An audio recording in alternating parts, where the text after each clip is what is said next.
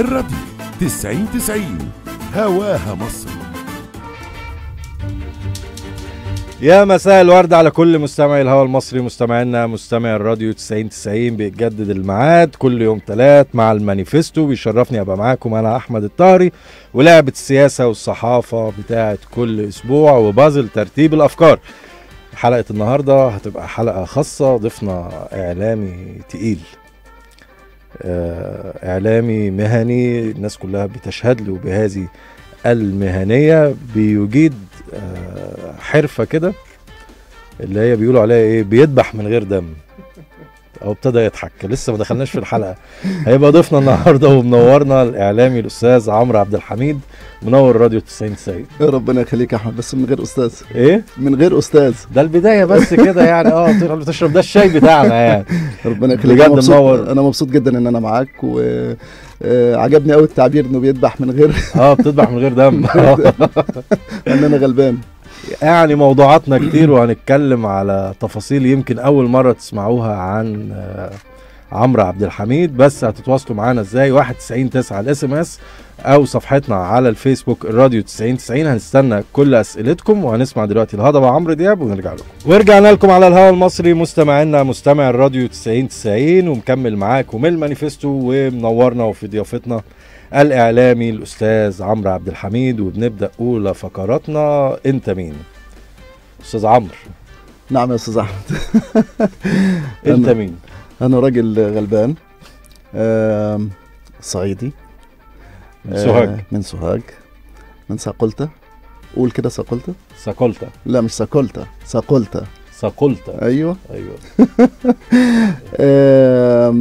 يعني بحاول إن أنا أقدم. يعني إيه اسمها يعني إيه اسم فرعوني؟ ساقية قلتا ساقية كلتا آه في واحد اسمه قلتا كان في المكان ده وكانت عنده ساقية فبقت ساقية قلتا تمام. تمام ده مركز كبير على فكرة. عندنا حوالي 12 آه، أو لا 12 إيه حوالي 20 قرية يعني تبعنا يعني, تمام.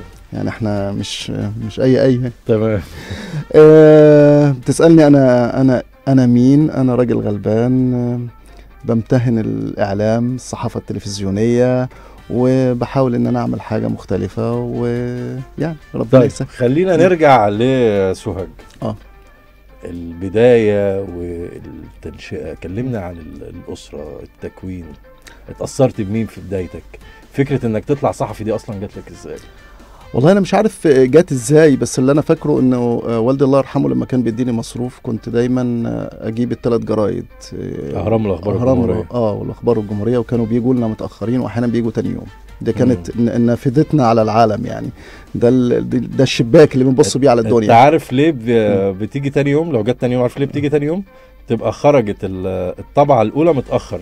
آه أنت راجل جورنالجي و- لا تبقى خرجت يعني آه فهي لو ما ركبتش القطر قبل أيوة، 10 بالليل ما تجيلكمش. بالظبط. آه. وعادة يعني لما كانت بتيجي بدري كانت بتيجي الساعة 12 الظهر يعني. تمام. آه كنت بحب ال- الجرايد وكنت بحب ال- القراية آه، كنت دودة قراية زي ما بيقولوا وكنت عاشق آه، للقصص آه، قصص الأطفال والقصص الكبار كمان يعني أنا قريت مثلا لمين؟ نجيب محفوظ قالت له وأنا في سن مبكرة جدا آه طبعا محمد عبد الحليم عبد الله يوسف السباعي كل الناس اللي هم بيمثلوا مدرسة المدرسة كان مين كان مين الأقرب ليك؟ يوسف إدريس طبعا. يوسف إدريس. آه يمكن بس يوسف إدريس ده يعني آه، في ملمح كئيب شوية. آه، في ملمح. هو طبعا أديب عظيم يعني. ده صحيح. بس ملمح ده خليها درامي يعني شوية. ما هو علشان كده بيسموه تشيخوف القصة القصيرة العربية. يعني على أنطون تشيخوف اللي هو ال ال الكاتب الروسي الكبير يعني. آه ويمكن آه، حبي لل- للقصص القصيرة آه خلاني آه يعني أحاول أبتدي كده إيه آه أكتب. فبدأت أكتب وأنا صغير آه يعني آه خلينا مثلا آه خلينا أقول لك آه، ابتديت وأنا في سن مبكرة جدا الكتابة ولغاية لما الواحد كده شعر بإنه يعني يقدر إنه يكتب زي الكبار. و أنت قعدت لحد ثانوي في سوهاج؟ آه بعد الثانوية العامة طلعت على روسيا.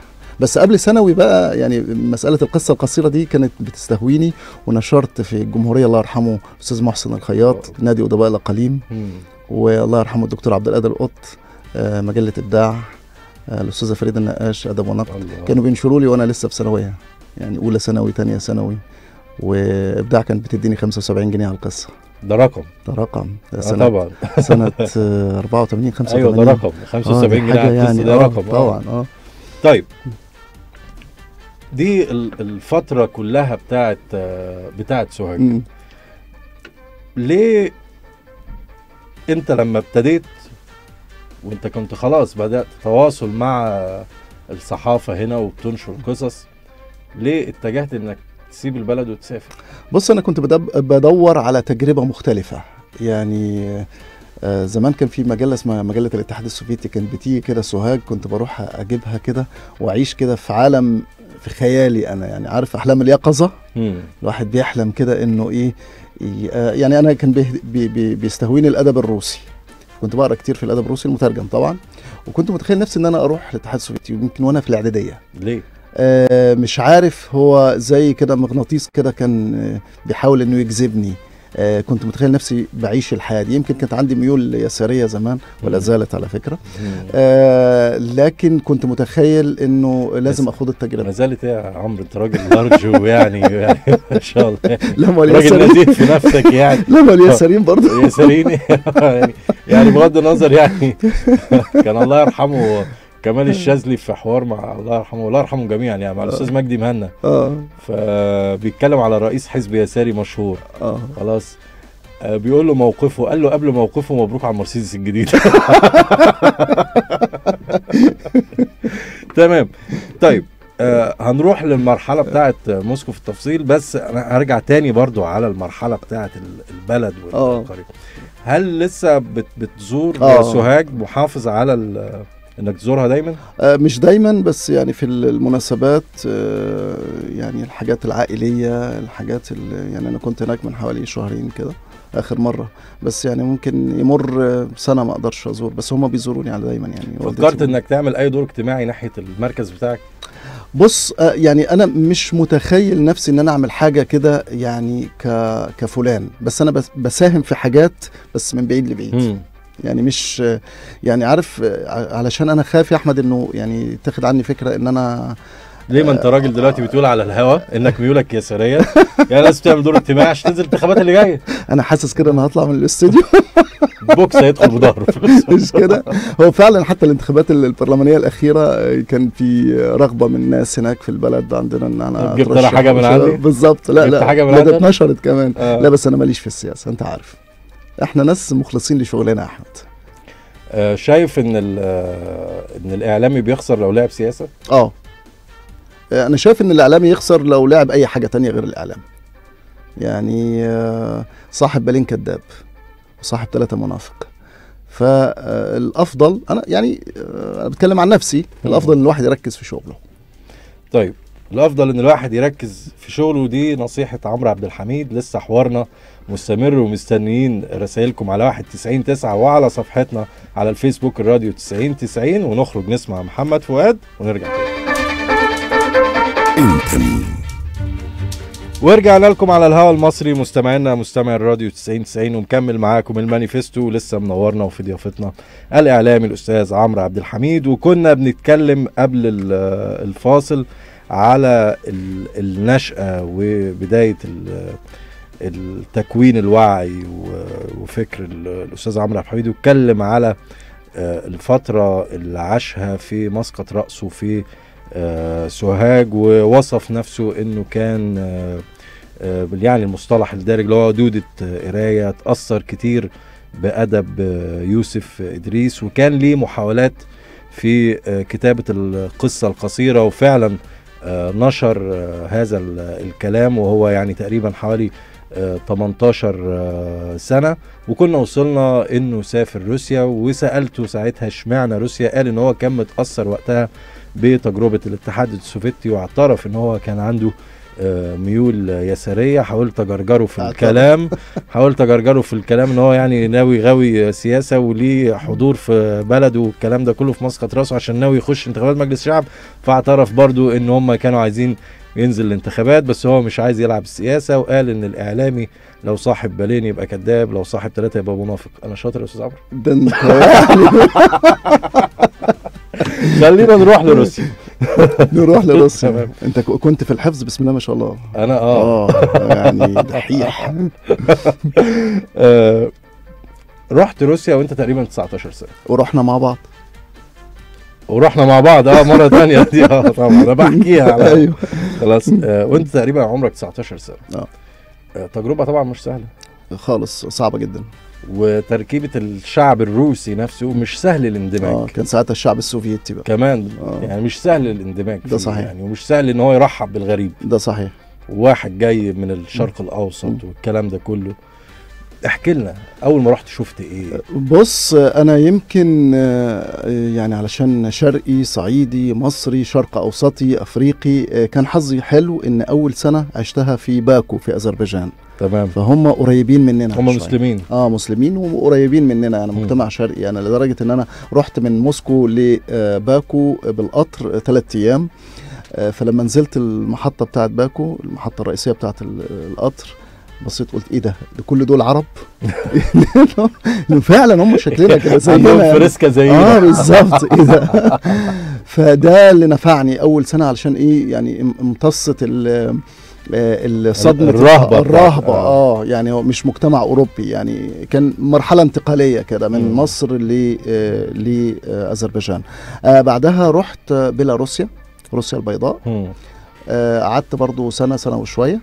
وبعدين رحت روسيا بقى بتعمل كملت. كنت بدرس آه، أول سنة آه، في أذربيجان كانت سنة اللغة اللغة الروسية.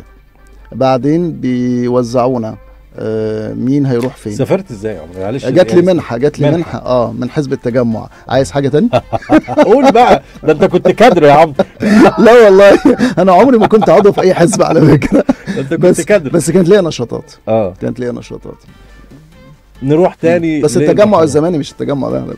يعني التجمع- كل الاحترام برضو لحزب آه، التجمع طبعاً. يعني حزب تاريخي أكيد، يعني وليه أكيد. دوره في الحياة السياسية المصرية أكيد ونتمنى إن هو يرجع يبقى ليه دور مرة تانية في يا الحياة. السياسية ال- المصرية ورحت روسيا البيضاء كمل دراسة آه آه، درست أول سنة طب آه، خلصت سنة أولى طب آه، لأنه كان الشرط الحاجة اللي ما قلناهاش إنه الشرط إنه الوالد الله يرحمه آه، إنه يوافق على سفري لروسيا تبقى دكتور. ان أكون دكتور تبقى آه. الدكتور عمرو آه الدكتور عمرو أنا طبعا ما كانش في بالي الموضوع ده خالص يعني أنا عايز أبقى صحفي عايز أبقى مم. يعني أمتهن كملت. دراسة الطب آه كملت دراسة الصيدلة مش الطب مم. أنا آه خدت أول سنة في بيلاروسيا في مدينة جميلة جدا اسمها فيتبسك جنب مينسك العاصمة آه وبعد ما خلصت سنة أولى يعني كان لسه هيبقى قدامي ست سنين لأن سبع سنين هناك الطب فأنا تخيلت إن أنا لو اتخرجت دكتور هتسبب في كوارث للبشرية ليه ما هو أنا ماليش في الموضوع آه. آه. يعني آه فقلت إنه الحل الوسط إنه الواحد إيه أحول صيدلة من غير ما يعرف والدي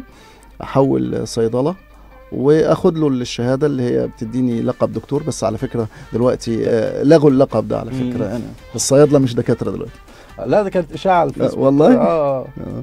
فبعدها آه درست صيدلة وخلصت الصيدله طيب آه، أسألك سؤال ممكن يعني تستغربه شوية بس هو من نماذج قبل كده. تمام. من اللي سمعته منك يعني التنشئة كان فيها بعد فلسفي آه، قراءة تحديدا ليوسف إدريس الهوى ال- السياسي يساري الدراسة مادية بحتة دراسة طب أو. صيدلة. آه، ما صحيح. شطحتش معاك لمناطق الحد؟ إيه لا.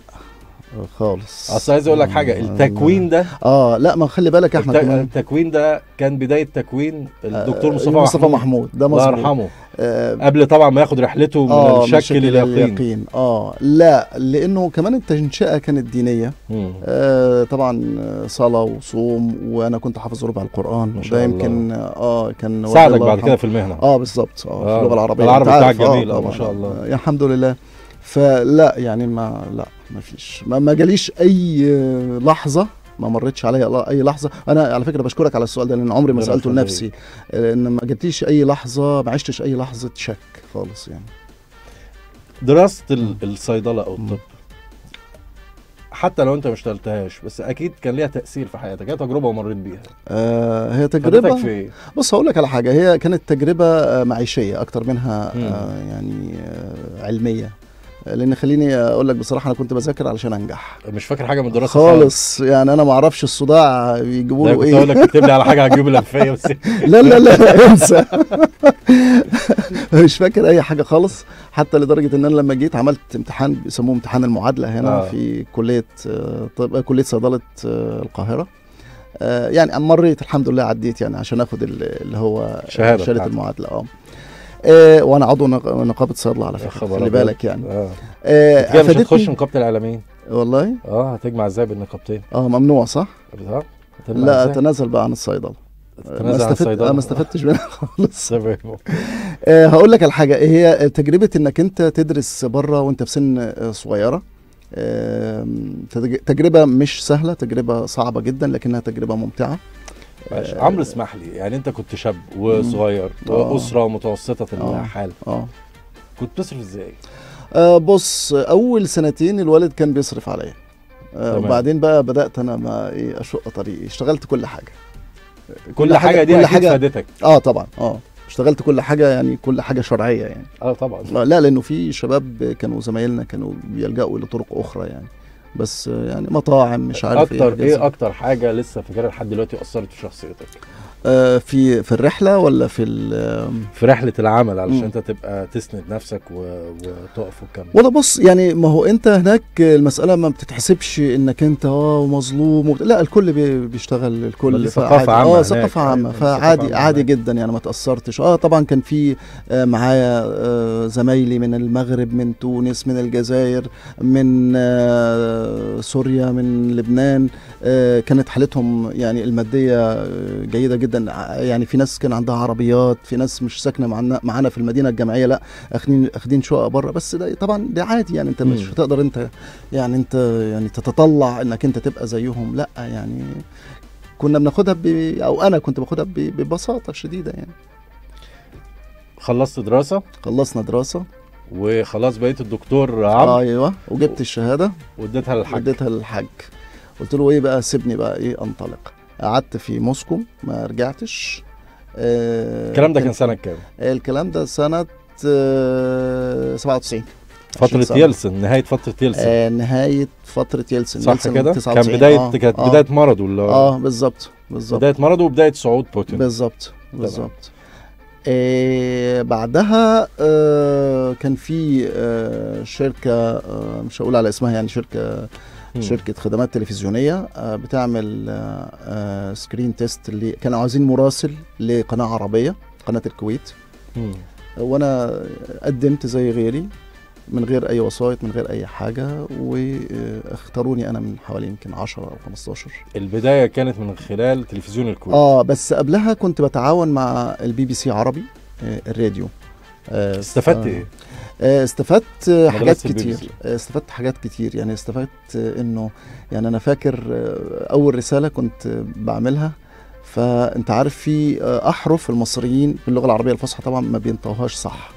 رغم. إن أنا أزعم إن أنا يعني كنت في اللغة العربية كويس يعني زي إيه؟ زي مثلا الضاء آه أنت لازم تطلع لسانك كده الضاء آه الذال الثاء فيعني حد وهو بيستلم مني الرسالة ضحك لما أنا بقول آه آه الظاهر مثلا.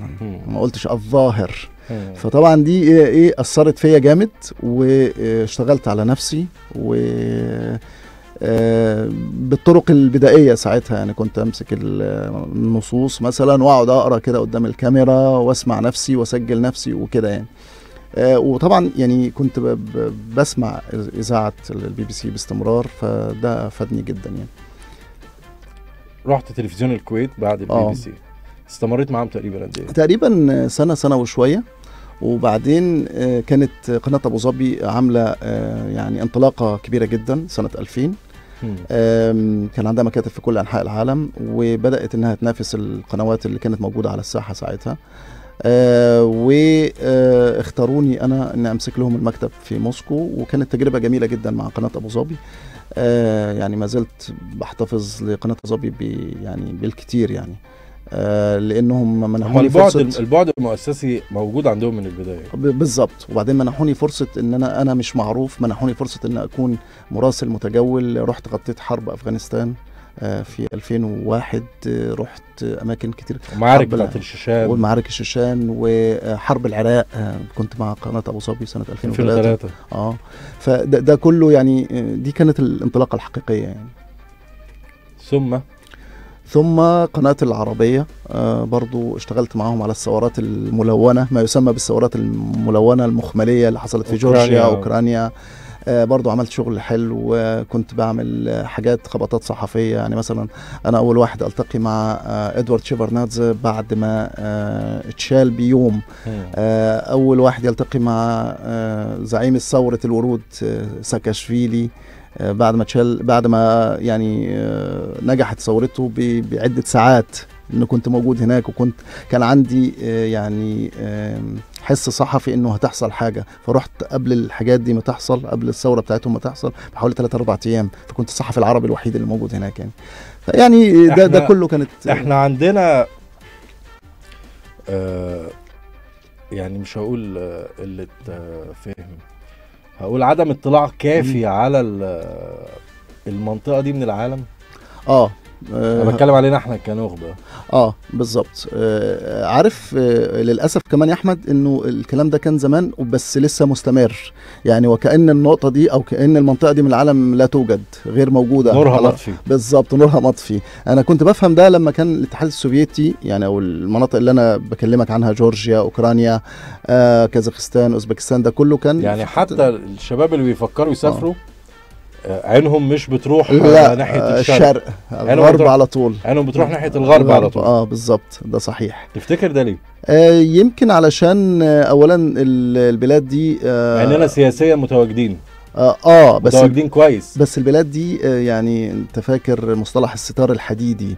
مم. كانت تعيش خلف ستار حديدي. الاتحاد السوفيتي ده كان حاجة غامضة بالنسبة لنا. آه، حتى يعني في نشرات الأخبار ما كنتش تشوفه كتير ما كناش بنشوف في نشرة تسعة إلا مثلا طوابير العيش مش عارف طوابير اللي مم. مش عارف إيه كده حاجات تحصل آه، زعيم يموت آه إنما الشباب آه بالتأكيد أنا يعني آه، بلتمس لهم العذر إنه عينهم ما كانتش بتروح للشرق لأ بتروح للغرب لأنه الغرب وحتى اهتمامات النخبة سواء مم. كتاب أو مثقفين أو حتى صحيح. صناع دراما أو صناع سينما صحيح عينهم مش بتروح مش ناحية الشرق. بتروح ناحية الشرق و- وده يعني أنا بقول لك كنت بف يعني أتفهمه زمان بس دلوقتي بيحصل ليه شوف بقى مش عارف إحنا عندنا كبقى كدور آه، سياسي مم. سنة آه، 91 أو 92 وقتها كان وزير الخارجية عمرو موسى آه أسس دي تحسب له. أسس في وزارة الخارجية حاجة اسمها الصندوق المصري للتعاون مع الكومنولث ده صحيح. كويس. مم. الصندوق ده من 92 مم. لحد 2011 وأنا هقول ليه وقفنا عند 2011 لحد 2011 درب مئات الكوادر مم. في هذه صحيح. الدول. صحيح. دبلوماسيين وقضاة وبعت ناس من الأزهر وبعت معونات صحيح، وبنى صحيح. مدارس. صحيح. فإحنا سياسيا متواجدين, متواجدين. وقفنا مم. في 2011 بسبب ال ال الظرف اللي هو الثورة يعني آه الظرف السياسي اللي البلد مرت بيه يعني آه. كويس الثورة بحكم النص الدستوري أيوه خلاص وقفنا في 2011 وبعد كده اندمجوا بقى بقى في هيئة المعونة المصرية الصندوق المصري آه. الكومنولث والصندوق المصري للتعاون الفني مع إفريقيا. طيب هتتواصلوا معانا إزاي؟ 199 9 ال SMS أو صفحتنا على الفيسبوك الراديو 9090 مستني كل رسائلكم وعمرو عبد الحميد هيجاوب عليها كلها. ورجعنا لكم على الهواء المصري مستمعينا مستمع الراديو 9090 ومكمل معاكم المانيفستو لسه منورنا في الاستوديو وفي ضيافتنا الإعلامي الأستاذ عمرو عبد الحميد. طيب آه زميلنا رامي رضوان كان آه أهدالك آه شجرة توت وبشملة وهم المفروض دلوقتي خلاص طرحوا. ده إحنا بناكل season بناكل منهم بقالنا فهو موصيني آه يعني بيقول لي عمرو أنا يعني مكسوف أقول له.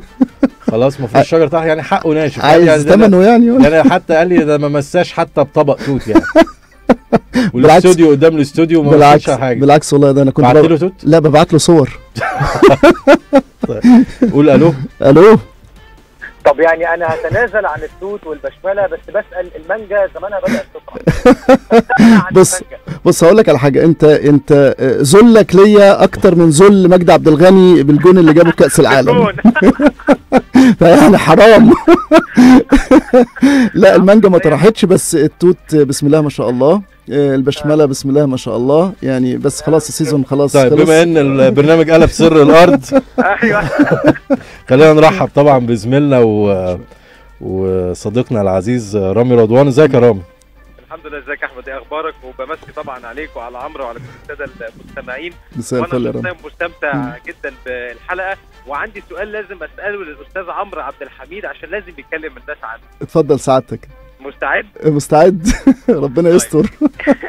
إعداد الجمهور على آه، عمرو عبد الحميد دائما إنه وش إخباري وجاد. آه.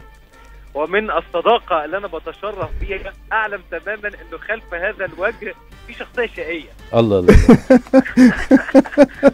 فيا تكلمنا يا أستاذ عمرو عن شقاوتك شوية. داخل داخل يدمرني يا رامي رضوان أنت عارف طبعا المنافسة وال... والنفسنه آه ده آه، عارف؟ طبعاً، آه. أنا أنا سعيد جدا إن أنا بسمع صوت رامي رامي من الناس اللي أنا أعتبرهم آه، آه، من مكاسب الفترة السنتين السنتين اللي فاتوا. صحيح. آه، لأن أنا يعني. آه، اتشرفت وسعدت إن يكون معايا رامي في برنامج البيت بيتك على قناه 10 آه، قعدنا سنة آه، يعني تقريبا ما فيش أروع منها. لحد ما قفلتوا البرنامج الحمد ولسه لا والله مش ذنبي لا ذنبي ولا ذنب رامي قفلتوا البرنامج. قفلتوا ال brand. مش ذنبنا أشهر. brand أشهر brand مش ذنبنا. مش ذنبنا والله. مفيش داعي نتكلم في الأسباب دلوقتي. آه، عايز أقول لك إن أنا كنت بستمتع بالشغل مع رامي وكنت ببقى فرحان جدا في اليوم اللي بيكون معايا فيه رامي رضوان. تقصد إيه؟ لا ثانية يا رامي معلش. ثانية يا رامي.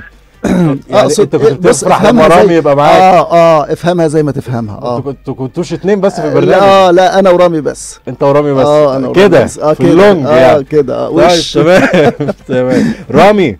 أنا بص أنا أنا بأكد على الكلام اللي عمرو بيقوله. الله اولا أنا أنا اتشرفت بمعرفة عمرو عبد الحميد معرفة شخصية في الوقت اللي اشتغلنا فيه مع بعض. حبيبي. آه، من أكتر المرات اللي استمتعت فيها بانه يكون معايا حد بنقدم ال- البرنامج مع بعض. وقد إيه كنت ببقى مستمتع شخصيا وإحنا بنقدم الأخبار بس تلاقي عمرو بيرمي إفيه غلس عليا. أو أنا رامي إفيه غلس عليه. طب رامي دخلنا في كواليس الهوا وقتها يا رامي. يعني كنتوا بتحضروا الحلقة أنت وعمرو مع بعض إزاي؟ جدا جدا. بص هقول لك على حاجة. يعني ال- الواحد اشتغل الحمد لله على مدار ال- يعني ال 11 سنة اللي فاتوا. وأنا اشتغلت مع ناس كتير. اولا عمرو عبد الحميد. آه أنت رحلتك كويسة. كانت بدايتك بتهيألي مع الاستاذ أماني الخياط لا البداية صباح أون. خالص أنا كنت كنت آه في صباح أون في البرامج السياسية آه كنت مع تضحك ليه يا عمرو؟ لا أصل بص آه، رامي أنت آه، آه، طهري بيسألك وعلى وشه ابتسامة خبيثة خالص والله لا رامي عارفني أنا للأسف مش شايفه ده أنا عشان آه آه لا أنا بوصف لك يعني أنا بوصف لك يعني. طيب نرجع لكواليس الهوا يا رامي أنت بتقول إن يعني آه، كان التحضير مع عمرو من أفضل ال- يعني جدا التجارب في؟ مدار 11 سنة شغل ليه؟ جدا ليه بقى؟ لأنه اولا كنت آه، أنا وعمرو كنا دايما بنقعد نتناقش إحنا هنتناول إيه في البرنامج تمام؟ ولو كنا بيبقى في اختلاف في وجهات النظر في موضوع معين هنناقشه. كنا دائما في اتفاق جنتلمان وسايلنت. ما بنقولوش إنه. الاختلاف ده هنطلع بيه على الهوا. لأنه صحيح مش شرط أكون مقتنع بوجهة نظر ومش شرط أكون مقتنع بوجهة نظر. إحنا صحيح. نتناول الموضوع من زاويتين والجمهور له حق إن هو يعني يعني يقيم ويشوف أنهي وجهة نظر صحيح. مقتنع مقتنع بيها. لأنه في الآخر دي مجرد آراء. يعني. صح تحمل نسبة من الصح ونسبة من الخطأ.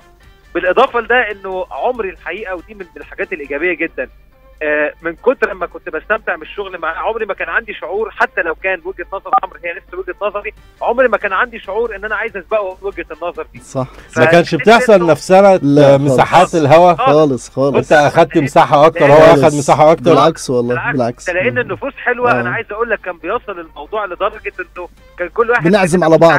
طب لما آه. نفوسكم حلوة كده البرنامج قفل ليه يا رامي؟ لا دي بقى ده إداري على الشركة اسم شفت. خبز الطهري مستحيل يتدارى يعني أنت خالص الحقيقة يعني طبعا آه، زميلنا وصديقنا العزيز آه، رامي رضوان ونجم 8 الصبح أهم تجارب رامي رضوان الإعلامية شوف شوف علشان أنت رئيس تحرير البرنامج أيوه بس بص مشكلة هو كل تجارب كل تجارب رامي رضوان مميزة طبعا مميزة. آه طبعا وتجربته و- هنا في الراديو 90 90 تجربة. جميلة جدا آه. تفرق طبعا يعني رامي بنستمتع بيه كل يوم حد من منك. 12 ل 2 على الراديو 90 90 مشكور في الحقيقة واللي إحنا اللي بنتعلم منكم من ناس مهنية موضوعية مثقفة دايما بتدوا الواحد حماس إن هو يطور من نفسه أكتر. بتمنى لك يا عمرو دايما كل التوفيق ربنا يخليك يا أنا هيجي اليوم اللي أبقى سعيد تاني بإن إحنا نشتغل مع إن بعض شاء الله إن شاء الله بإذن الله. طاهر دايما متألق ربنا في يخليك يا رامي. وفي ال- المانيفستو وأنا بشكر الطاهري على المفاجأة الجميلة دي لأن ما سمعتش صوت رامي من زمان. طيب ماشي يعني بالمناسبة الجميلة دي يعني والورد اللي نزل وال... والليمون اللي نزل في الاستوديو. والبشملة. آه هي خلاص يا رامي أنا ضمنت لك حقك في التوت والبشملة يعني. طبعا يعني بص ممكن يعوضهم بعزومة يا طاهري ما عنديش خلاص، مشكلة. دايما. برضه مستعد. مستعد تمام.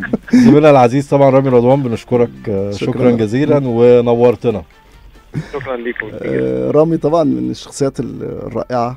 يعني اللي أنا فعلا فعلا كانت الفترة اللي إحنا اشتغلنا مع بعض فيها كانت آه، فترة أنا مش هنساها يعني. طيب أنا هو الكلام جه بدري على التجربة دي بس هي كده كده هتبقى معانا في ال- في الساعة الثانية انت كنت عايز تسمع أنغام فأنا مش هحرمك من من حاجة. 91 9 على الإس إم إس.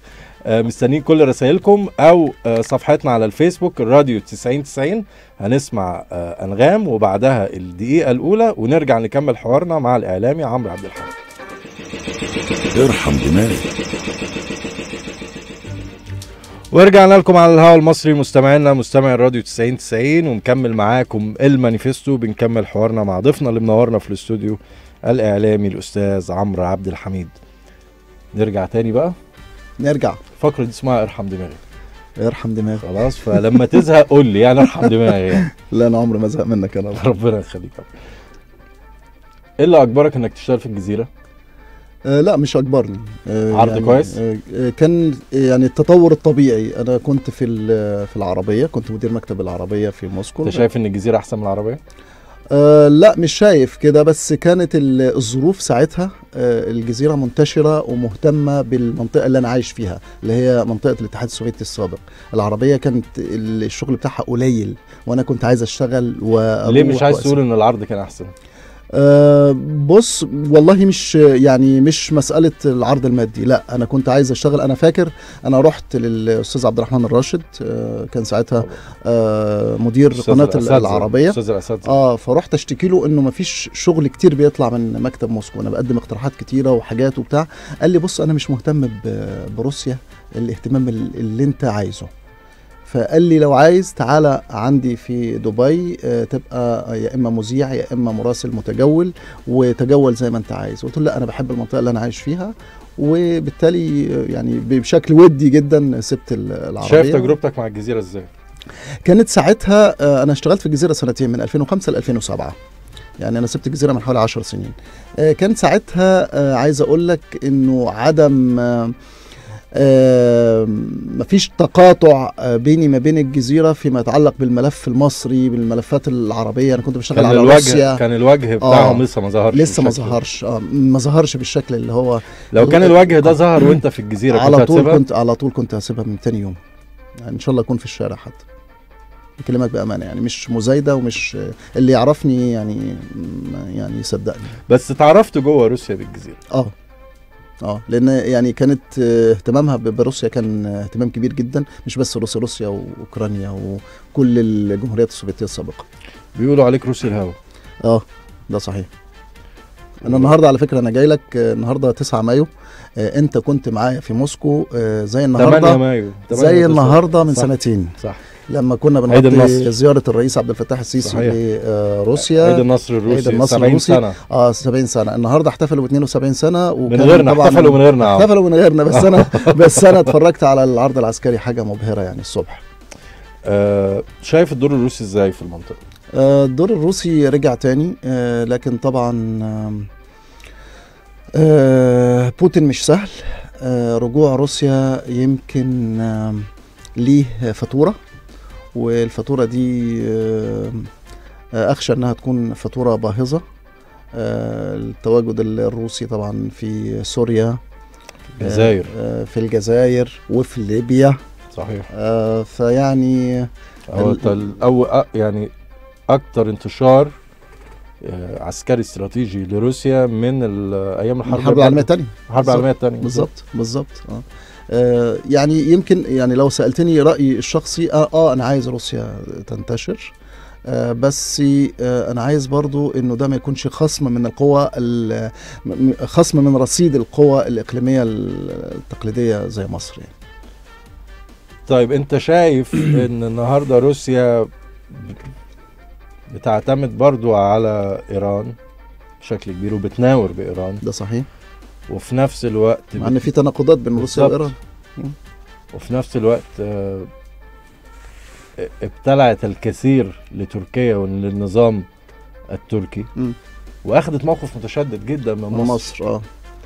ليه؟ أنا عايز أقول لك إنه آه، أنا بشكل شخصي طبعا وكمواطن مصري في النهاية متضايق جدا من ال- الموقف المتشدد.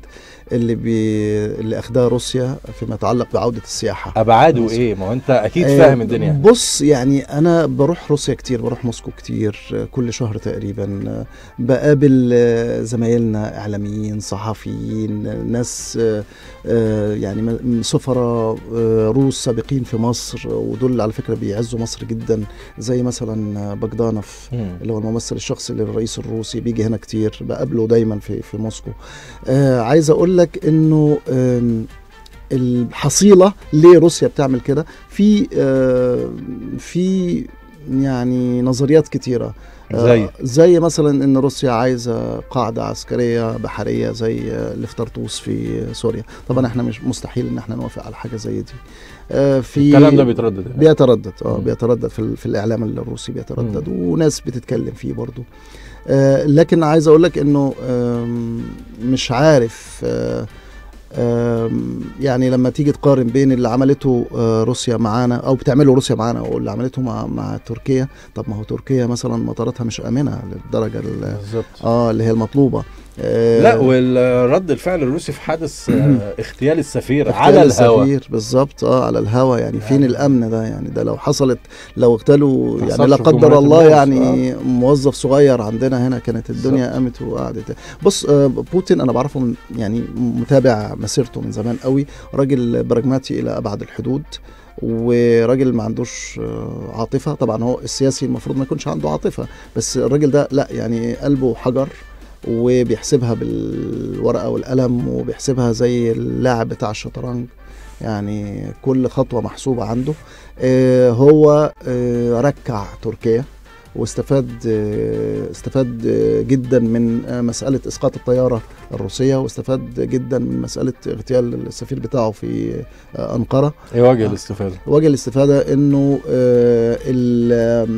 عايز أقول لك إنه العقوبات الاقتصادية اللي مفروضة على روسيا آه، وجد بوتين بشكل أو بآخر آه، السوق ال- التركي آه، سوق بديل السوق التركي والسوق الإيراني طبعا سوق بديل بيعوضوا بعض. وبلطجي تركي لاعب وبلطجي الاوروبيين بالظبط وبلطجي تركي بيلعب بيه الاوروبيين بالظبط كده. آه.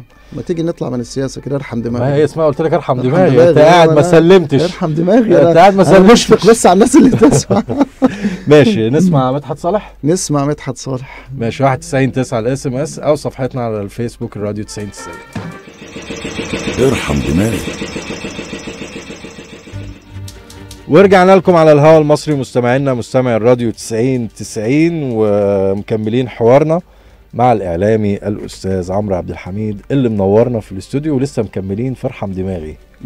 اللي هو فلت منها في ال segment اللي, اللي فات. بس خلينا نوجه طبعا تحية ل آه، أمل عبد الحميد شقيقة الأستاذ عمرو. صحيح. هي اللي اختارت الأغنية اللي فاتت دي وأنا ما. أعرفش. يعني هو عمرو قال لي أنا عايز أسمع آه، مدحت صالح كذا وبعدين طلع إن هو طبعا بنوجه لها ال- التحية. والتحيه طبعا لكل آه، المستمعين ال- الكرام. والرسائل اللي بتجيلنا على الحوار. الطيبة يعني. طيب خلصنا آه، موضوع ال- الجزيرة وروسيا. جيت على قناة الحياة. ودخلت سوق الميديا المصري. لا بس ده قبل ما أجي على قناة الحياة في تجارب تانية كتير. في سكاي وفي لا في بي بي سي كمان. آه لا ما أنا بقى يعني بقفز على آه، النقطة دي. تمام. أنا بتكلم فكرة إن أنت اتنقلت بقى آه. من ال- القنوات. الإخبارية آه. وال- وال- والتجارب اللي هي الإقليمية اللي بهذا الشكل وداخل على سوق الميديا في مصر. المصري. وده ليه أدبيات مختلفة تماما صحيح. عن أي سوق إعلامي في العالم كله. صحيح. دخلت إزاي؟ والموضوع جه إزاي؟ وتعلمت إيه؟ واتضحك عليك في إيه؟ واتخضيت من إيه؟ احكي فض... انت فض... بتفضفض دلوقتي. أيوة. بص أنا جالي عرض من قناة الحياة وأنا موجود لسه كنت في سكاي نيوز عربية في آه، أبو ظبي. آه، ساعتها كانت الأحداث في مصر آه، متلاحقة. كانت المشهد السياسي محتقن لأنها كانت سنة ال- الإخوان. وأنا كنت حاسس برغبة شديدة جدا إن أكون متواجد عايز تشتبك. عايز تشتبك مع المشهد. آه عايز أشتبك مع المشهد. أنا كنت بشتبك طبعا لأنه سكاي آه، يعني الإدارة مشكورة كانت بتبعتني كل ما بتحصل حاجة. فكنت مم. باجي مصر نعمل استوديو co-presentation بين هنا ما بين أبو ظبي وكأني شغال في مصر. بس ده بالنسبة لي ما كانش آه، كفايه فلما تجدد عرض الحياة لأنه الحياة يعني كانوا عارضين عليها من سنوات سابقة. آه، لما تجدد عرض الحياة في الفترة آه، اللي أنا بقول لك عليها دي آه، وافقت. وجيت آه، بعد آه، يعني كان عندي أول هوا آه، في يناير 2014 okay في قناة الحياة برنامج الحياة اليوم بعد ما آه، زميلنا وصديقنا آه، شريف عامر آه، ترك آه، طبعاً. البرنامج آه، كانت تجربة مختلفة طبعا آه، وصدمتني حاجات كتيرة زي بقى إيه بقى يعني أنا أول الكلام مرة. أول مرة أعرف إنه في حاجة اسمها آه، المذيع بيتكتب له سكريبت وإنه في إعداد وكده وبتاع يعني إحنا كنا متعودين مثلا أنت هو هو one man crew آه يعني ال- بتكتب السكريبت بالظبط، أنا بتاعك. بكتب السكريبت بتاعي أنا اللي بس على فكرة آه. كل مدرسة البي بي سي كده آه بالظبط بالظبط. يعني في زملاء كتير بالبي بي سي تعاونت معاهم آه. ك editorial يعني رئيس آه. تحرير والكلام ده كله. كان هو يقول لي أنا أحب أكتب السكريبت لنفسي في آه. الآخر كنت بكتب له السكريبت يعني بس, آه. بس هو كنت لا بس حقيقة يعني آه، طيب كنت بتسيب الإعداد بتاعك يكتب آه آه آه طبعا آه طبعا ما أنا م-. يعني ما, ما كانش ينفع إن أنا أقول لهم إزاي ولا وأنا ومش عارف إيه. لا أنا كنت بتعاون معاهم وكان. بيتكتب لي السكريبت وأحط عليه الإضافات بتاعتي ال- بستفيد منه لا يعني وبعدين كانت المجموعة حلوة يعني. آه، كان طبعا آه، رئيس تحرير القناة الصديق العزيز الأستاذ محمود مسلم ساعتها طبعا. آه، فكنا يعني كان لا كان في تعاون وكان في موده شديدة جدا. بس طبعا المسألة آه، إنك أنت جاي من من حتة ورايح حتة تانية مختلفة تماما. ليها زي ما أنت قلت برضه في المقدمة أدبياتها وليها آه، خصوصيتها. بس نجحت مع الحياة. آه، الحمد لله. الحمد لله. يعني يعني يعني سريعا أول حاجة آه انت رايح على البرنامج وزميلنا الأستاذ شريف عامر كان ناجح جدا. ده صحيح. كان هو البرنامج تقريبا. رقم واحد وقتها. ده صحيح. آه ما حصلش أي خلل والبرنامج كمل على نجاحه صحيح. واستقبلنا نجم توك شو اسمه عمرو عبد الحميد. طب ليه سبت الحياة وأنت ناجح؟ آه، ارحم دماغي يا أحمد. لا لسه لا أنا مكملين بقى. آه لا هو طبعا يعني إيه مشاكل مادية. بسبب المشاكل المادية يعني كانت الظروف آه، يمكن شوية صعبة في قناه الحياة. وأنا يعني بتفهم آه، ده لأنه طبعا كانت آه، الدنيا مركزة على المسلسلات على البرامج اللي هي الترفيهية فكانت المرتبات بتتأخر ويعني كان في حاجات كده والواحد عنده التزامات. فبالتالي لما جالي عرض تاني سبت الحياة. وأنا يعني سبتها وبصراحة يعني سبتها وأنا يعني زعلان لأن أنا يعني ناجح فعلا آه. وال- والبرنامج ناجح والحمد لله يعني الناس ما شعرتش إنه في دروب بعد ما مشي شريف آه، كنت بتعاون أنا أس- وزميلي. أهمية الموضوع ده في في إيه هي ممكن ما تبقاش مرتبطة بقدرات الإعلامي سواء اللي قبل أو اللي بعد مرتبطة بالانطباع الأول اللي عند الناس الناس اتعودوا إن هم بيشوفوا في بالظبط. الساعة دي آه، فلان, فلان والارتباط. العاطفي اللي عند ده المشاهد صحيح. كويس ده غير كمان إن ال- القنوات ال- في تحليل نسب المشاهدة آه، في نوع من الولاء شوية عند المشاهد المصري للقنوات. القديمة تمام. طبعا دي إم سي خلصت على الكل يعني دي قصة تانية. آه يعني كده على الهوا. طيب. دي إم سي إن شاء الله وجيرانها. جيران عشان قناة تم قدام دي إم سي. ماشي. طيب آه خلصنا تجربة الحياة. آه وانت شرحت ان هي كانت ملابسات متعلقة بظروف آه. التعاقد نفسها آه. والتزام القناة ناحية آه آه. التعاقد بس إيه اصعب موقف تعرضت ليه وانت آه، في قناة الحياة وانت جاي بقى من تجارب مختلفة من سكاي نيوز وبي بي سي ومدارس مختلفة فجأة قعدت كده مع نفسك في الأوضة بتاعه المذيعين وقلت أنا إيه اللي خلاني أعمل في نفسي كده؟ لا أنا هقول لك على حاجة. أنا كل التجارب اللي أنا يعني آه، ربنا أراد إن أنا اخدها مفيش تجربة آه، يعني ندمت عليها. لا ما قلتش ندم. آه وكل بس الواحد التجارب- بيجيله برضه آه، يقول أنا اللي عملته في نفسي؟ لا. اطلاقا. ما ما جاتليش اللحظة دي لأن أنا كنت عارف أنا رايح آه، فين. مم. يعني أي نعم في بعض التفاصيل زي ما قلت لك مثلا مسألة السكريبت مسألة عدم وجود system زي ال system اللي أنت كنت متعود إنك أنت تشتغل آه، يعني داخله. في كل القنوات اللي الواحد اشتغل فيها بي بي سي عربي جزيرة عربية آه وحكاية إن أنت بتبعت آه. ال email فال email بيطلع من آه، دبي دبي بتبعت للندن فالرد. بيجي لك من لندن في خمس دقائق بالظبط آه آه دي المسائل دي طبعا كل كل بلد وكل قناه هنا في ناس. لما تقول له ابعت لي إيميل تحس إن هو بيتشتم بيتشتم بالظبط. حضرتك ابعت لي إيميل. ايميل يقول لك ايميل إيه يا عم. فالمسألة يعني لا أنا عارف إن أنا إيه التجربة اللي أنا مقبل عليها وعارف ليها خصوصيتها طبعا وزمايلي وأصحابي اللي هم يعني بيشتغلوا في الإعلام المصري آه، قايلين لي وأنا يعني مش أنا مش جاي من أنا مش خبير أجنبي أنا مش جاي من آه، كاليفورنيا يعني. أنا جاي صحيح. لا وأنا كنت كل شوية في مصر يعني. كنت كل شوية في مصر آه، لكن أنت ما. دخلتش في ال- السوق ال- المصري. طيب سبت قناة الحياة ورحت لتجربة تانية؟ آه قناة 10 برنامج البيت بيتك بيت مع مع زميلنا رامي رضوان. وزميلتنا أنجي أنور. آه صح مظبوط. طيب. مش عارف الواحد ذاكرته يا أخي مش عارف. والله العظيم الشر ده ليه ناس. المهم آه. طيب. البيت بيتك أنتوا آه، استلمتوا أو عهد اليكم ببراند ليه خصوصية قوية جدا عند الناس؟ صحيح. أول توك شو آه، عرفته تقريبا آه، مصر تمام آه، وتجربة اتحط لها دعاية ضخمة جدا وعمرو عبد الحميد كان ليه اسمه وما زال طبعا ليه ليه اسمه كويس ورامي رضوان آه، وجه شاب ناس مستبشرة آه، بيه ورامي كان عامل وقتها season عالي قوي في برنامجه. الأولاني صباح آه، صباح. صباح ON. إيه اللي حصل؟ ليه آه، التجربه ما حققتش؟ إيه، بص يا سيدي يعني يمكن نختصر المسألة في في مس في في كلمة أو في جملة. آه، يمكن آه، سوء تقدير من الإدارة لأهمية مثل هذا البرنامج. يعني كان فيه اهتمام ببرامج أخرى برامج آه، ترفيهية على حساب برنامج التوك شو الرئيسي. آه، رغم إن الناس استبشرت وإحنا آه، كنا تيم حلو مم. وكان معانا طبعا زميلنا العزيز محمود التميمي طبعا. آه، بخبرته وبمهنيته. آه، فكان لازم يعني كان المفروض إن إحنا ننجح. آه، إحنا أنا أنا ما بعتبرش نفسنا إن إحنا فشلنا.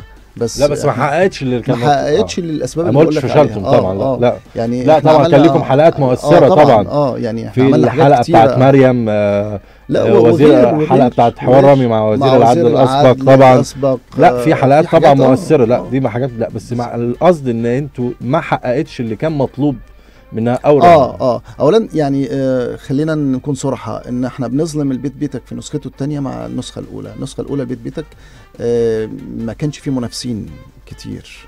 يعني كان بيلعب لوحده ال- البرنامج.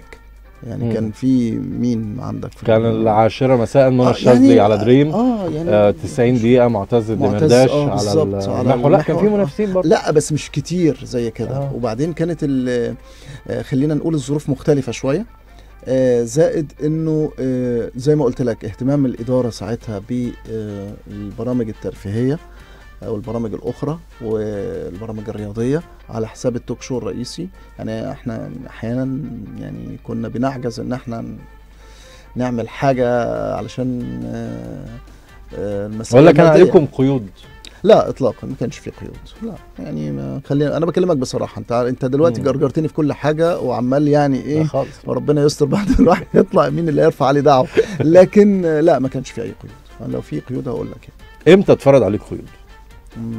يعني يعني ما جالكش في مرة قال لك لا مش عايزين نضيف ده؟ آه أنا لا أتذكر ده يعني ما, ما مش فاكر يعني آه، اولا يعني آه، أنا بحرص إن ضيوفي برضو يكونوا آه، على على المستوى اللائق. آه على ال... يعني أنا مش معقول دلوقتي هقول لك على حاجة. يعني مثلا لما بدأت في الحياة آه جبت مثلا آه حمدين صباحي وجبت آه دكتور عبد المنعم أبو الفتوح وساعتها الدنيا ما كانتش زي دلوقتي. بمعنى الوجه الآخر ل خلينا نتكلم على الإخوان مثلا. الوجه الآخر للإخوان آه وللجماعات كانش وصل للعامة. أيوة، لكن بالظبط. كان مفهوم عند النخبة. أيوه بالظبط. مم. فكان ساعتها ومع ذلك ومع ذلك أنا مثلا جبت الدكتور عبد المنعم مفتوح عملت معاه حوار كان حوار قوي وهو الراجل يعني اتضايق مني جدا لأن أنا يعني عملته بمهنية وبموضوعية بس كنت يعني هو هو بيقول للناس إن أنا كنت قاسي جدا. ومع ذلك الناس شتمتني. انت إزاي تجيب عبد المنعم يعني الناس ما, ما, ما اتفرجتش على الحوار يقول لك إزاي تجيب هل؟ تجرؤ النهارده ان انت تعمل حوار زي ده؟ بص أنا اتمنى ان أنا آه، آه، آه، احاور اي حد ان شاء الله نتنياهو واخد بالك بس خلينا نتكلم بصراحة يا احمد الد- الدنيا بقت صعبة ال- الناس نفسها ما هو أنا يعني الناس علشان- استحملت كتير آه الناس استحملت كتير أنا دلوقتي علشان أجي استفز الناس بشخصية الناس استحملت كتير. الناس استحملت كتير و على الرغم من إن الإعلام المصري كان ليه دور مهم ودور رئيسي في ثورة يونيو صحيح. لكن آه، في قناعة أو تكونت قناعة إن جزء رئيسي من الخراب كان الإعلام سبب فيه. آه يعني ده موجود عند قطاع كبير جدا من الناس. خلاص. فبالتالي أنت بتعمل حساب الناس برضو دلوقتي. يعني أنت يعني مش هتيجي تجيب حد كده يعني تستفز آه الناس. تستفز الناس يعني. طب أنت يا آه okay هتعمل rating ساعتها للحلقة وبعدين أنت يعني ما بتفرقش معاك نسبة المشاهدة؟ آه أبقى كذاب لو قلت لك إنها ما تفرقش. لا آه تفرق. ويمكن تجربتي الجديدة اللي أنا بدأتها من حوالي شهرين آه بحاول إن أنا ربنا يوفقك. فيها طبعا تجربة مميزة جدا. الله يخليك يا أحمد. بحاول إنه بقدر الإمكان إنه أوصل لده بس أنا ماشي تاتا تاتا. يعني يمكن الإمكانيات دلوقتي مش مساعدة شوية لكن أنا آه، عملت أو بعمل حاجة يعني مختلفة شوية. أنا البرنامج بتاعي ما فيهوش رأي يعني أنا يعني عمرو عبد الحميد ما بيقولش رأيه هو. المفروض المذيع يقول رأيه ولا ما يقولش رأيه عشان دي آه. مسألة جدلية يعني. آه، بص هي مسألة جدلية وممكن نتكلم من هنا للصبح وممكن آه، نجيب آه، آه، يعني آه، براهين وأدلة على إنه لا المذيع لازم يقول رأيه وأدلة وبراهين تانية لا المذيع ما يقولش رأيه أنا من أنصار إنه المذيع ال- المتلقي سواء كان آه، مشاهد أو مستمع يبقى مرتاح وهو آه، بيسمعك أو بيشوفك. بمعنى ما بيبقاش يقول لك آه فلان ده ده بتاع كذا بتاع الجهة الفلانية ولا بتاع الحزب الفلاني ولا بتاع السلطة ولا بتاع المعارضة. واخد بالك؟ فخليه كده ياخدك زي ما انت. يعني خليه خلي المشاهد يعني أنا بتكلم عن نفسي. خلي المشاهد يعني إيه ما يشغلوش آه، تصنيفك أنت كمذيع وكإعلامي. بقدر ما يشغله المدرسة الرمادية دي آه. مدرسة بي بي سي. لا مش هي رمادية يعني هي على فكرة المدرسة دي مطلوبة قوي دلوقتي. مم. خلينا نكون صراحة مع بعض.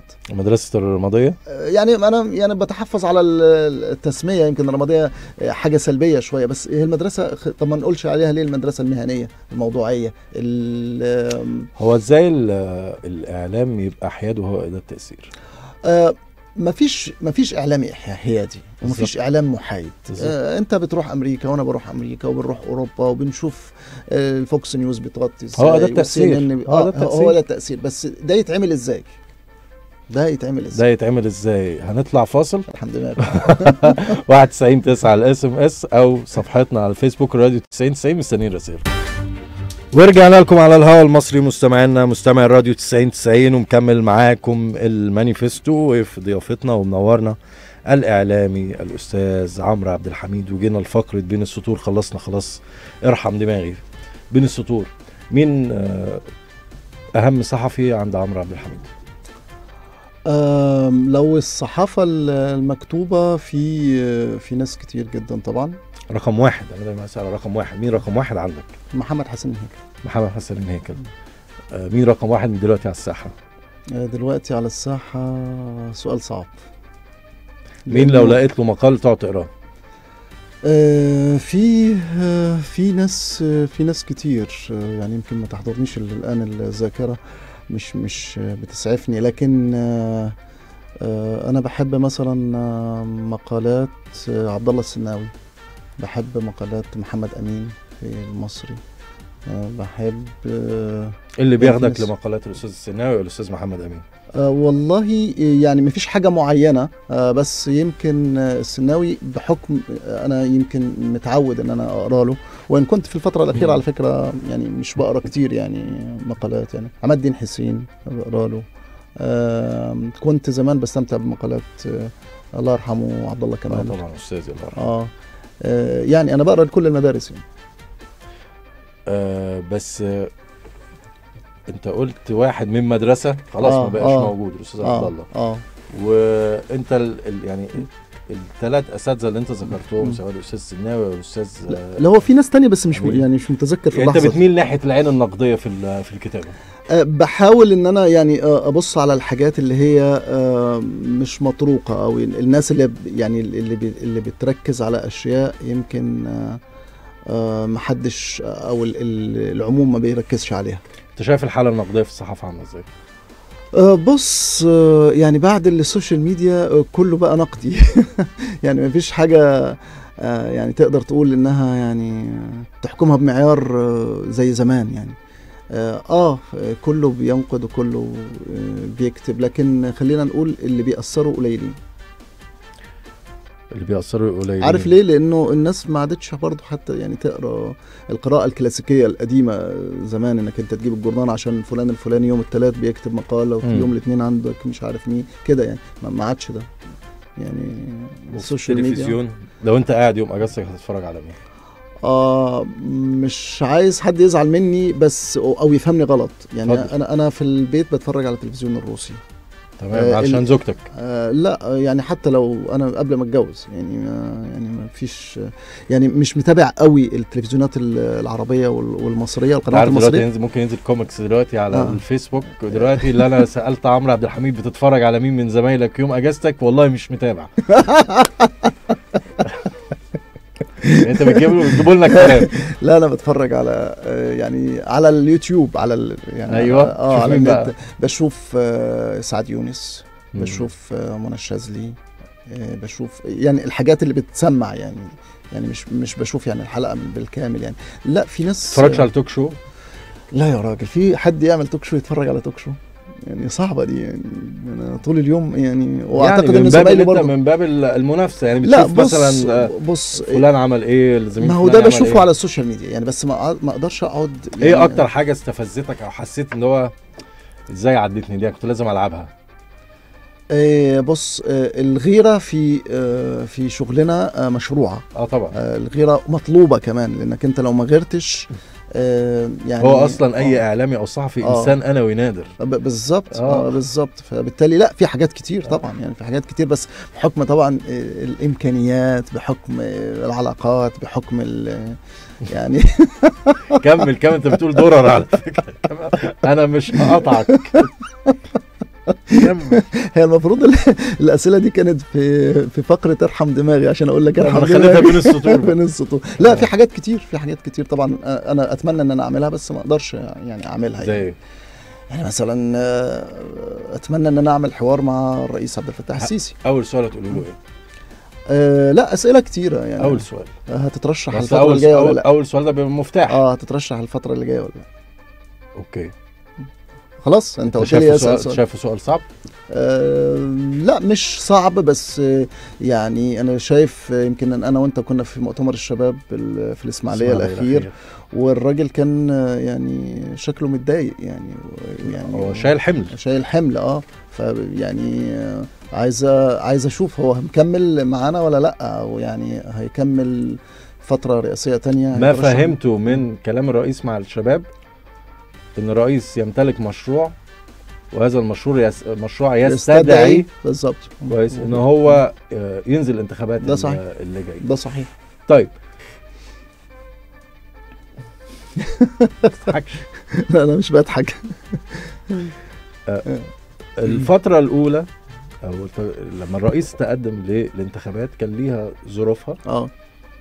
والرئيس آه، وقتها قال وثيقة عهد في خطاب. التنصيب يعني إحنا. بنسميها كده وثيقة عهد فيها عدد من ال- البنود اللي هي فعلا اتنفذت على أرض ال- الواقع لما تجيب خطاب التنصيب. هتلاقي آه، استعادة ال- الدولة استعادة مؤسسات الدولة الانطلاق في آه، مشاريع آه، تنموية العمل على مسارات متوازية. آه، في خطة تنمية ال- الدولة بس ما كانش فيه برنامج انتخابي. تقديرك إن ال- السيد الرئيس لو نزل الانتخابات اللي جاية هيطرح برنامج انتخابي؟ لا.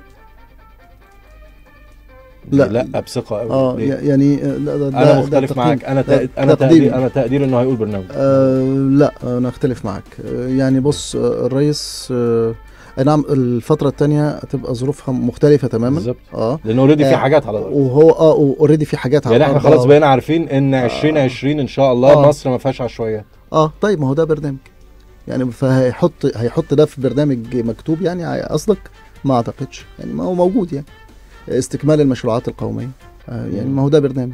آه إيه كمان؟ آه الفجوة بتاعت الميزان المالي أو الموازنة ما بين. المصروف وما بين الإيرادات. يعني ما هو ده يعني أنا أنا أتصور الرئيس كمان مش من آه، على حسب فهمي المتواضع يعني برضو مش من أنصار إنه تتحط حاجات زي برامج انتخابية وكده يعني. خدوني زي ما أنا. وأعتقد ده كان هو الشعار بتاعه أو يعني يعني آه مبدأه في الفترة الأولى وهيكمل في الفترة الثانية أو هيخوض الانتخابات على هذا ال- من من سيتقدموا للترشيح لانتخابات الرئاسة. آه، هتعمل مناظرات بينهم؟ آه أنا ولا؟ أنت. آه أنا أتمنى كإعلامي. طبعا آه أتمنى طبعا بالتأكيد. بس هم هيوافقوا؟ يعني آه، ال- الفترة اللي فاتت أو قصدي الانتخابات اللي فاتت ما حصلش فيه مناظرات. تفتكر آه. الانتخابات اللي جاية يحصل مناظرات؟ أه والله أتمنى يعني أتمنى لأنه دي بتدي برضو آه، روح أه بتدي آه، خلينا نقول بتكسر ال- الرتابة وبعدين ده يعني شكل من الأشكال بيعزز التجربة آه بيعزز التجربة وشكل من الأشكال اللي إحنا ما تعودناش عليها فيعني حرام إن إحنا نتحرم منها يعني طيب كإعلاميين وكمواطنين كإعلاميين وكمواطنين مم. طيب آه من هنا لانتخابات 2018 تقديرك الموسم السياسي في مصر هيبقى عامل إزاي؟ أم، بص أم، إحنا بنتكلم في حوالي سنة. سنة, آه في سنة. الموسم السياسي آه، قد تطرح أسماء آه، جديدة آه، تدخل المنافسة. يعني في كلام كتير دلوقتي وأكيد أنت متابع ممكن المستشار هشام جنينة. يعني يعد له أن يخوض الانتخابات. ما أعرفش الفريق أحمد شفيق آه، إيه ظروفه الصحية؟ هل تساعده؟ هل هيرجع؟ مش متابع قوي ال- القضايا بتاعته. آم، ما أعرفش إذا كان كلام حمدين الأستاذ حمدين صباحي في في المؤتمر الأخير. ده هل ترجمته إنه هيخوض ولا مش هيخوض؟ هو بيدعو إلى مرشح توافقي تتوافق عليه القوى ال- آه، يعني الوطنية على حسب تعبيره. ما أعرفش إذا كان هو نفسه هيكون هو يعني المرشح المقصود ولا لأ. يعني ال- ال- البورصة لسه ما- سخنتش قوي يعني لسه قدام. لسه البورصة ما سخنتش. 91 9 على ال SMS وصفحتنا على الفيسبوك الراديو 90 90 مستني رسائل ورجعنا لكم على الهواء المصري مستمعينا مستمعي الراديو 90 90 وخلاص جينا لآخر فقراتنا والمانيفستو معاكم. وهيرد على أسئلتكم الأستاذ عمرو عبد الحميد. زكريا سالم بعت على 91 9 بيقول واضح إن الأستاذ عمرو مش عايز يقول إن سبب المشكلة بين مصر وروسيا هو اكتشافات الغاز في المتوسط. جايز آه، لا أنا يعني آه، جايز آه، أو خلينا نقول ده احتمال كبير برضه من ضمن الاحتمالات المطروحة واللي أنا سمعتها برضه. رقم آه، آخره آه، سبعة تسعة وأربعين بيقول إن تركيا فرضت كلمتها على روسيا لأنها تصدر لها منتجات ولن تعود السياحة الروسية بدون منتجات تصدر إلى روسيا. منتجات مصرية يعني تصدر إلى روسيا. منتجات مصرية؟ آه. يعني آه، ماشي أوكي. آه في منتجات بتروح لروسيا بس مش بالقدر الكافي يعني. في بطاطس وفي برتقال أنت شايف إن مش مش البعد الاقتصادي هو الأساس؟ لا مش مش الاقتصادي قوي يعني. كلام سياسة كله. كلام سياسي طيب آه رقم آخره أربعة اتنين أربعة وهو فعلا أربعة اتنين أربعة. آه. ده طريقة حلوة. بص ده كاتب إيه بقى؟ بدحرج المسا وارمي السلام. الناس الكويسة. تمام. آه ببعت العوافي. ورميت الورد. وطفيت الشمع. الا الا إلا.